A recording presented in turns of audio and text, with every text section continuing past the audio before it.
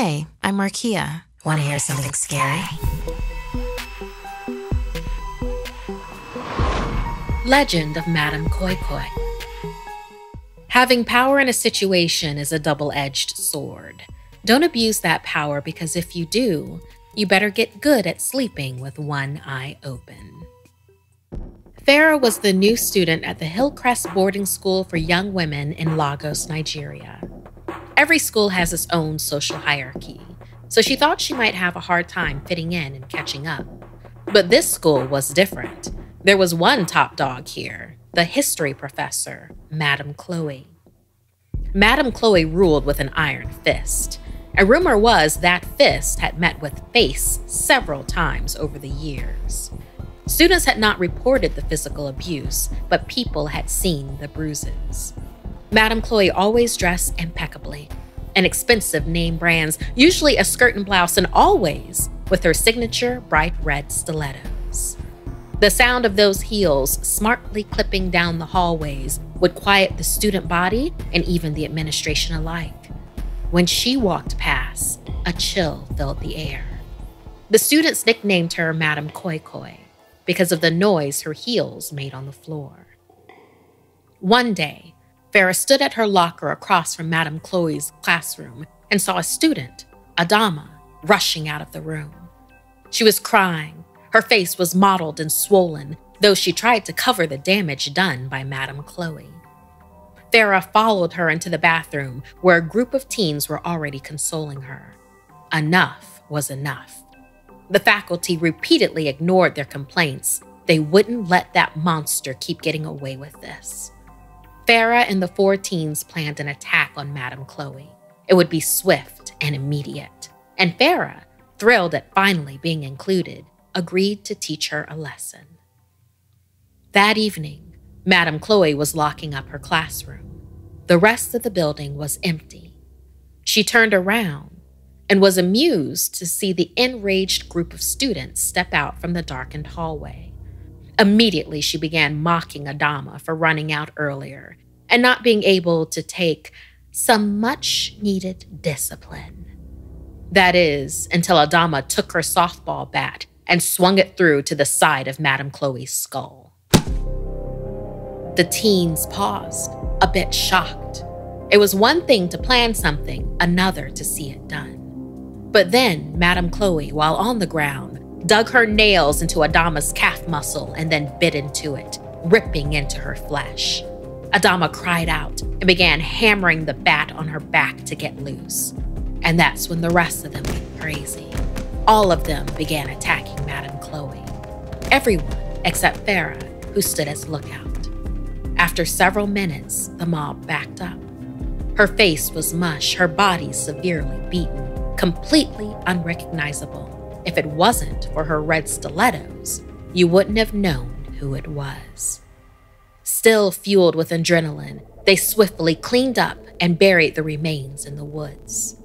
For the first night in a long time, all five teens slept like babies. Had they gone too far? Yes, definitely. But they did not feel much remorse for ridding the world of their monster. The next few days were filled with inquiries from police.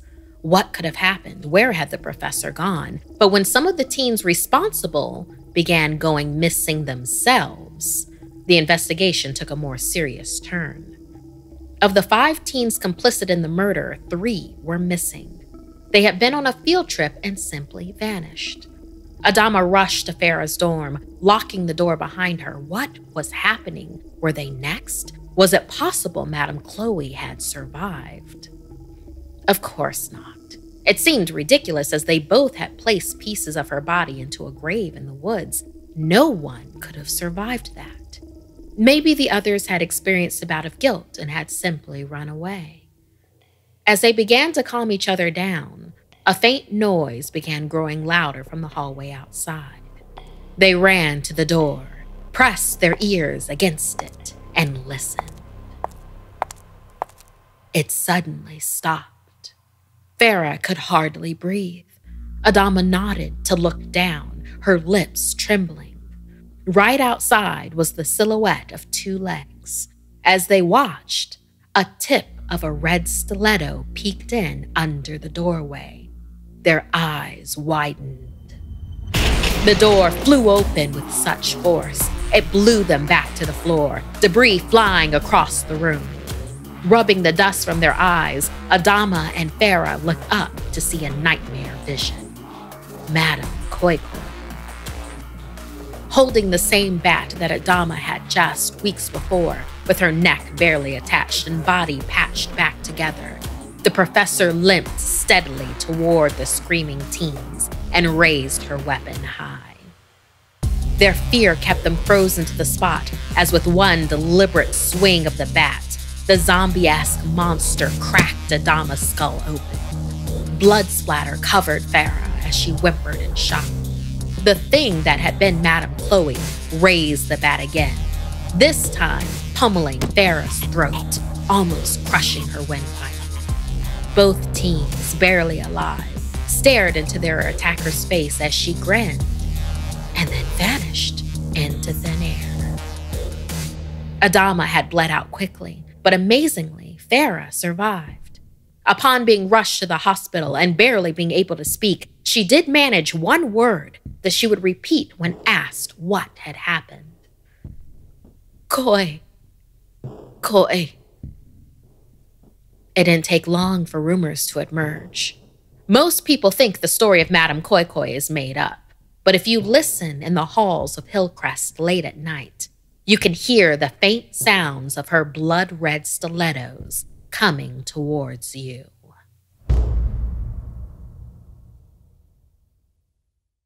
Fresh from San Diego, California comes the sunglasses brand I buy for myself and all of my friends. I'm talking about Blenders Eyewear, and you're going to be just as hooked when you see how awesome these shades are. Unlike expensive big brand shades that you've probably lost or smashed in the past, blenders are actually affordable, so you're not going to cry as much when the inevitable happens.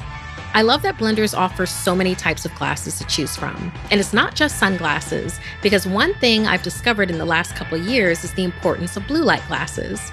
Since I spend a lot of time looking at screens, it's important to take good care of my eyes. They're perfect for when I'm working on set and I spend more time than usual on my phone. Live life in forward motion with Blenders today. To score 15% off your Blenders purchase, visit blenderseyewear.com and enter promo code SCARYVIP. That's blenderseyewear.com code SCARYVIP for 15% off. Blenders, rocked with pride worldwide. Vampires, monsters, and ghouls. Oh my. I like my movies scary. And when I'm in the mood for something bloody, I turn to Shudder, where every week they release something new. I'm really looking forward to rewatching Queen of the Damned. The late music star Aaliyah stars as Akasha, the powerful queen of the vampires, an important part of Lestat's bloody vampiric journey. I even have a Jen Bartel print of Akasha on my wall. It's a bittersweet cult classic must see. Demon Knight is also well worth the watch, and hit me up on social media afterwards so we can talk about it. Shudder's streaming library has just about everything, from original movies like Superhost, The Boy Behind the Door, and Creepshow by executive producer Greg Nicotero of The Walking Dead. Stream all this and more from Shudder's ever-growing library ad-free for just $5.99 a month. Shudder has everything supernatural, thriller, and horror. I can't get enough of it. You're going to love it too. And right now, you can stream your first 30 days of Shudder for free. Go to shudder.com and use code something scary. That's S H U D D E R.com, code something scary. Stream free for your first 30 days by going to shudder.com, code something scary. If you'd like to submit a story, send me an email at somethingscary at snarled.com. Like and share this video if it gave you the chills. And don't forget to subscribe to Snarled and turn on the bell for notifications. And if you dare, follow me on social media. Until next time, my dark darlings, sweet dreams.